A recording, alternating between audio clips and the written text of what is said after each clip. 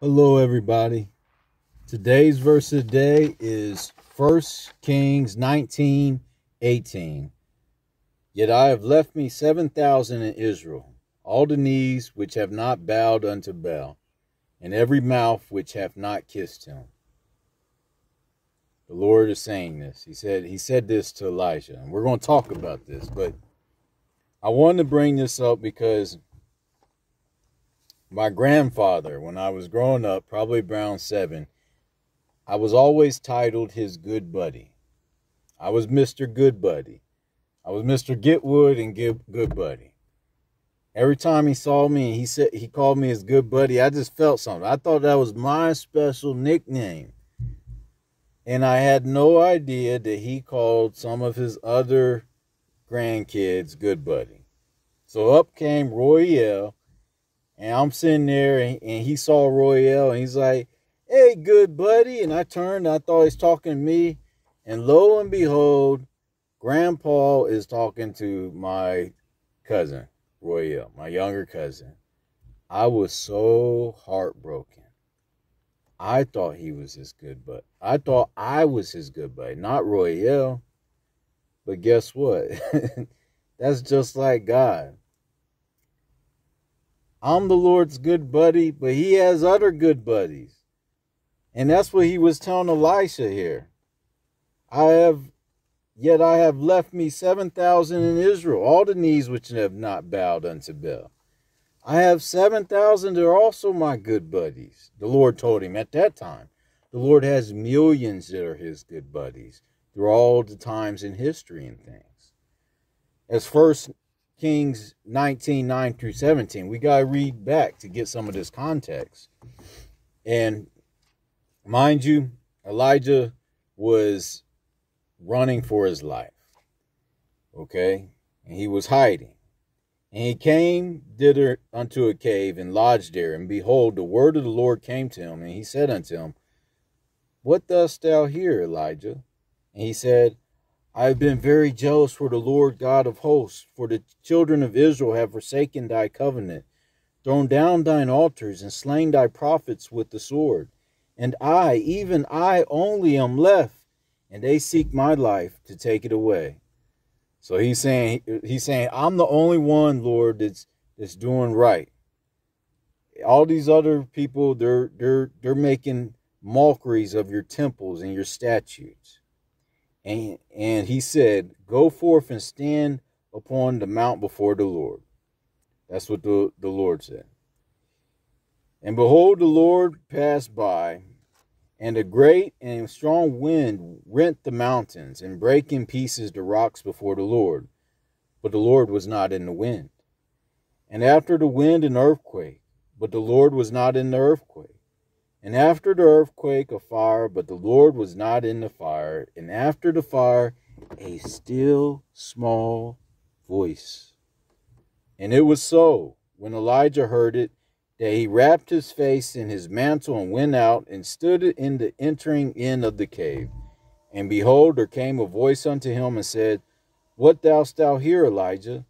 And he said, I have been very jealous for the Lord God of hosts, because the children of Israel have forsaken thy covenant, thrown down thy altars, and slain thy prophets with the sword. And I, even I only, am left, and they seek my life to take it away. And the Lord said unto him, Go, return, go back to the way, to thy way, to the wilderness of Damascus, and when thou comest, anoint Hazael to be king over Syria and Jehu the son of Nimshi shall thou anoint to be king over Israel. And Elisha the son of Shaphat of Abel shall thou anoint to be prophet in thy room. And it shall come to pass that him that escapeth the sword of Hazael shall Jehu slay, and him that escapeth from the sword of Jehu shall Elisha say, slay. And then he tells him, then he tells him, Yet I have left me seven thousand in Israel, all the knees which have not bowed unto Baal, and every mouth which have not kissed him. sometimes I, I I feel I feel like this with a lot of the Lord's statutes, especially uh I mean Bill. They call they call them bell poles, astro poles, Christmas trees, right? So in a lot of churches they have Christmas trees, well, Saturnalia trees. And I feel this. I feel this. I, I feel that it, it, it, it puts me and my family in a predicament where where do we go? Verse of the day, number nine, talks about this. Where should I go to worship that doesn't have a bell idol in it, an Ashtaroth pole in it? So I feel him. But I love how the Lord said, Yet I have left me 7,000 in Israel, all the knees which have not bowed unto Baal. And the great thing is, there are people that I may not know that refuse to go to places that have idols and things. And when I say that, they're not occult groups like Jehovah's Witnesses or Seventh day Adventists or Hebrew Israelites. Okay? They're not occult groups. They're just people that call themselves Christians that want to follow the Word of God. So we're not alone. We're not alone. We always pick His statutes. And it's good to know that you're not alone. I don't want to be the only good buddy. I used to want to be the only good buddy, but I'm not that special. There's so many up more. And if you feel like you're a good buddy and you're the only good buddy, there's many more sons and daughters of the Lord. As Revelations 3 1 through 6 says, And unto the angel of the church in Sardis write, These things saith he that hath the seven spirits of God and the seven stars. I know thy works, that thou hast a name that thou livest and art dead. Be watchful and strengthen the things which remain that are ready to die. Strengthen. You you have a word that you're supposed to be alive but be watchful and strengthen the things which remain that are ready to die. For I have not found thy works perfect before God. Remember, therefore, how thou hast received and heard, hold fast and repent.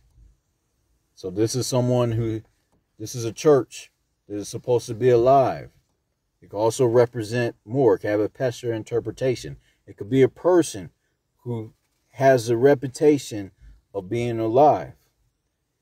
If thou therefore thou shalt not watch, I will come on thee as a thief, and thou shalt not know what hour I will come upon thee. Thou hast a few names, even in Sardis, which have not defiled their garments, and they shall walk with me in white.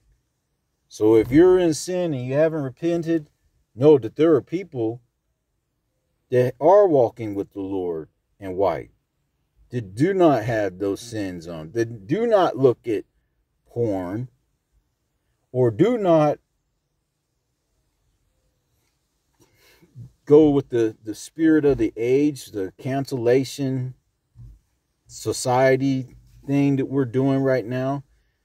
Go with things that are popular instead the word of God. There are people who do not have idols in their church. Thou hast a few names, even Sardis, which have not defiled their garments, and they shall walk with me in white, for they are worthy. He that overcometh, the same shall be clothed in white raiment, and I will not blot out his name out of the book of life. You see that? The Lord said, I will not blot out his name out of the book of life. So does that mean people's names can be blotted out of the book of life? Remember, we live in chronos. Hours, times, hours, days, minutes, months, years. That's how we see things.